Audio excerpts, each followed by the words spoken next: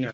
أحسن الله إليكم سماحة الوالد. يقول السائل كيف نوفق بين تفضيل المهاجرين في الآيات؟ ها؟ يقول أحسن الله إليكم كيف نوفق بين تفضيل المهاجرين في الآيات مع مدح النبي صلى الله عليه وسلم للأنصار في قوله لولا الهجرة لكنت امرأ من الأنصار وقوله الناس شعار والأنصار دثار نعم الأنصار لهم فضائل عظيمة بلا شك والمهاجرون لهم فضائل.